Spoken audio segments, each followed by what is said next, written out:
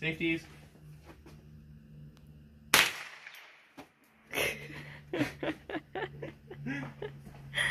huh.